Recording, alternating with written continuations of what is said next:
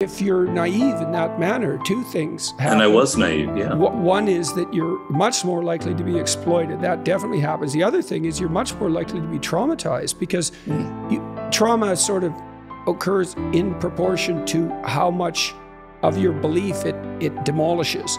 And so if you have a a too positive and too naive view of the world, and you, especially if you encounter someone malevolent, they can really do you in psychologically. Yeah. And, and they often will too, because, well, they have their, their reasons.